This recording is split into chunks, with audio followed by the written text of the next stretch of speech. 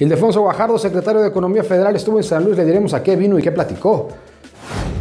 Quería robar y quedó atorado, le diremos dónde y por qué. Ya son siete denuncias en base a las entregas, recepciones de los ayuntamientos.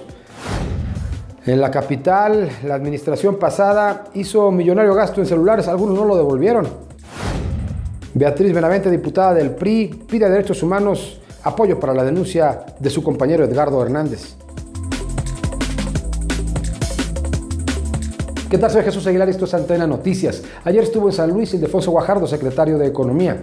Se reunió con algunos empresarios y funcionarios. Platicó ahí con líderes camarales de Canacintra, Coparmex, Canaco, la Unión de Usuarios de la Zona Industrial, el gobernador y algunos secretarios del gabinete estatal. Hablaron, entre otras cosas, de las decisiones polémicas del, del presidente electo de López Obrador, como la de la consulta por el nuevo aeropuerto internacional de la Ciudad de México.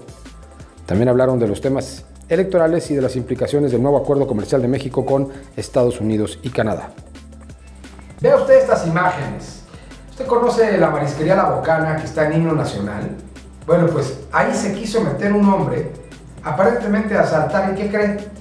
Pues quedó atrapado, pero en los ductos. No pudo salir, se, se introdujo al lugar por, una, por un ducto y se quedó atorado.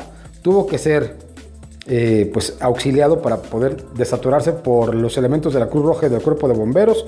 Los rescatistas acudieron al lugar y ya está siendo procesado, por pues, este ilícito que finalmente no pudo consumar.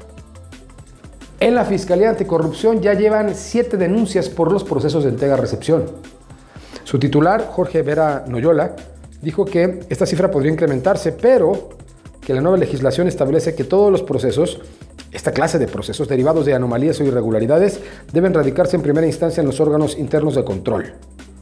Uno de los temas que seguramente saldrá es aquí en la capital el escándalo de los celulares. Ah, hubo gastos millonarios en la administración de la capital pasada y los denunciaron el día de ayer.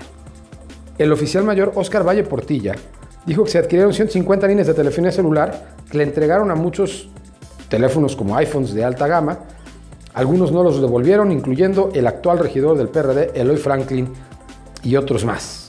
El tema se turnará justamente a eh, la Contraloría y, por supuesto, a la Auditoría Superior del Estado para que incremente el expediente.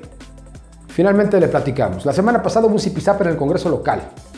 Por pleitos internos, el diputado del Partido Verde, Edgardo Hernández, atizó en contra de Sonia Mendoza y Beatriz Benavente.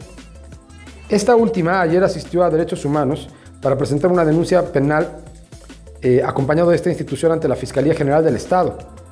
Le dijo, por si usted no lo recuerda, le dijo a Benavente Rodríguez que hubiera querido que fuera hombre para partirle la madre. Jorge Andrés López Espinosa, presidente de la Comisión de Derechos Humanos del Estado, dijo que la denuncia sería por violencia política en razón de género. A nombre de Valentín Hernández y este equipo, gracias, hasta la próxima.